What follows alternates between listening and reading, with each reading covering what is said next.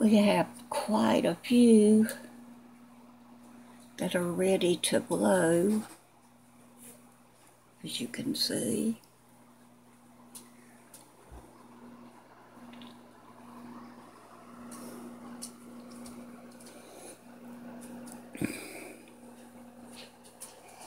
And I'll see if I can't get up here in the grass and show you a bunch of babies.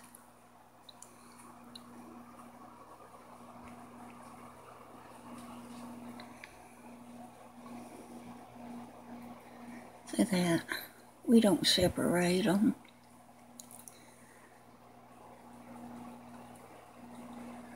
We just keep them supplied with plenty of grass.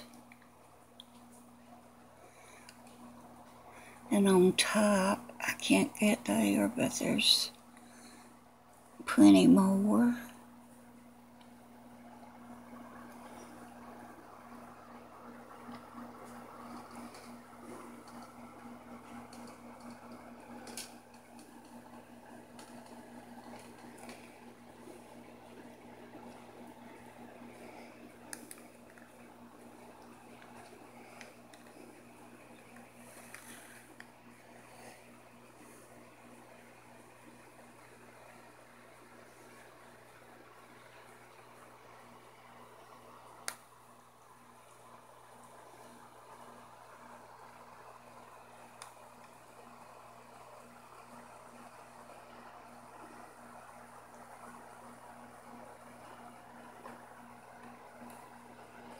And I think that's our tour.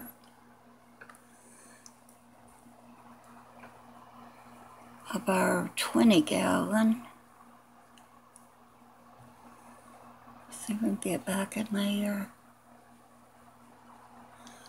Oh, they're, they're really wanting to hide now.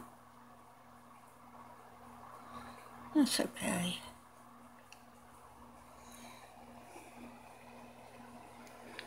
Okay.